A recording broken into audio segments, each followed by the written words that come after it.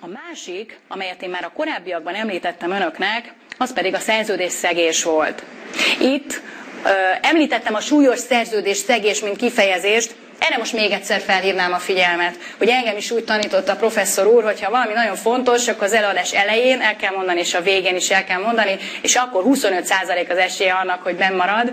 De én azt gondolom, hogy ez biztos, hogy nagyon-nagyon fontos, úgyhogy nagyon-nagyon sokan meg fogják jegyezni. Nézzük csak, szerződéses kötelezettségét súlyosan megszegte, és ez a szerződés felmondásához vagy elálláshoz kártérítés követeléséhez, vagy szerződés alapján alkalmazható dödödödöm. Ha kártérítés követeléséhez vezetett, akkor azért álljunk meg egy pillanatra. Hát azért ködbért szoktunk érvényesíteni, azért az annyira nem különleges, mert jó, most felmondani nem szoktunk, hát egy közbeszerzési felszerződést, de hogy mondok fel, örülök, hogy végre megkötöttem. Inkább húsba kötöm a szegény ajánlattevő, de valahogy teljesítsem, mert annál fontosabb nincs. Most ebben az esetben, hogyha Ugye azt mondjuk, hogy súlyosan megszegte, és ez kártérítés követeléséhez vezetett, a vita a későbbiekben tehát miről lesz? Arról, hogy az oké, okay, hogy késtél, ez most súlyos-e, vagy sem. Találkoztam egy, egy közszolgáltatói előadáson, találkoztam egy közszolgáltató csapattal, hatalmas nagy, hatalmas nagy hangoskodása az előadás közben, mindenki mindenkivel elkezd beszélni. Hát nem értem, mi az izgalmas, valamit esetleg találtak, meséljenek. Kiderült, hogy ők minden egyes szerződésükbe beleírták, hogy mindenki súlyosan megszeg mindent, és mindenféle szankciót beleírtak, hogy jól rászorítsanak mindenkit arra, hogy hű.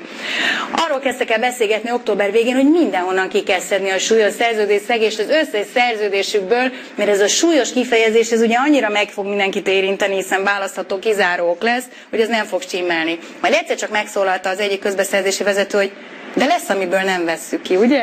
Igen, lesz, ami... Na, most erre már nem mondok inkább semmit. Tehát a súlyos szerződésszegés inkább azért lesz érdekes, és annak a definiálása, mert az még odáig oké, okay, hogy ő ködbért fizet de ragaszkodni fog ahhoz, hogy az ne, fog, ne minősüljön súlyosnak semmilyen úton, módon, pontosan ezek miatt a következmények miatt, tehát megint egy kis adminisztráció a rendszerben apróságnak tűnik, de igen, egy számít akkor, amikor ugye nem fog tudni lezárni egy projektet, mert még egy szón vekengünk, és jogos, hogy azt mondja a jogász, aki esetleg közbeszerzéshez kevésbé ért, hogy hát most nem mindegy, hogy súlyos-e, kifizette a ködbért, vagy nem fizette ki. Hát nem mindegy, hogy súlyos-e. Ha választható a kizárók, akkor nem kell választ, akkor nem szükséges választanom, de ha kedvem van, akkor választhatom. Ez is ténykérdés. Van azonban még egy érdekesség, Gabi fog majd erről beszélni, egy megjegyzést engedjenek meg, és mindjárt jön a jogorvoslat. Um, van egy olyan új eh, választható kizár, egy új kötelező kizáró okunk, amely a versenyfelügyeleti bírságról szól. Eddig ez választható volt. Azaz, aki kartelezett, azt nem kellett kizárnunk, nem is szoktuk kizárni őket. Igen, de egy dologra felhívnám a figyelmüket. Ugyanis az új kartelkizárók nem, nem a régi kartelkizárókot tartalmazza egy az egyben, hanem annál liberálisabb, pontosabban, ahogy tetszik, szigorúbb. Ugyanis már nem csak a versenyeztetési eljárásban történt kartel az, ami miatt ki kell